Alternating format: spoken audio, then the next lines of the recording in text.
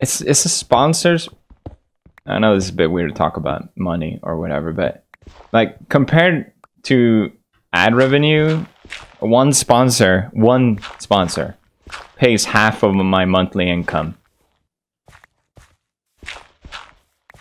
So that's like one video at- compared to what, 30? Ad revenue is so shit.